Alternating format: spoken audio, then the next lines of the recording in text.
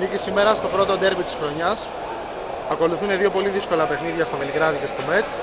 Πού πιστεύεις βασικά ότι κρίθηκε σήμερα το παιχνίδι; Ε, κρίθηκε στην ψυχή, κρίθηκε στο ότι είχαμε τον κόσμο δίπλα μας, το θέλαμε πάρα πολύ, παίξαμε, ε, βρήκαμε ρυθμό στη συνέχεια του παιχνιδιού και κατακτήσαμε το παιχνίδι. Με νίκη στο Μέτς ε, αποκτάμε ένα προβάδισμα, όσο και αν είναι νωρίς Σίγουρα ακόμα. και σήμερα με τη σημερινή νίκη αποκτάμε προβάδισμα από τον Ολυμπιακό.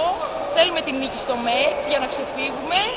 Ε, στόχος είναι το πρωτάθλημα και το κύπελο. Από εκεί και πέρα πάντα προσπαθούμε σε κάθε παιχνίδι να έχουμε το καλύτερο δυνατό αποτέλεσμα για την ΑΕΚ. Πρώτα όμως είναι το παιχνίδι στη Σερβία. Είναι και Ναι. αυτός ένας στόχος, μια Είναι- καλή πορεία στην σίγουρα Ευρώπη. είναι ένας στόχος, γιατί είναι η πρώτη φορά που η ΑΕΚ συμμετέχει σε αυτή τη διοργάνωση. Θέλουμε το καλύτερο.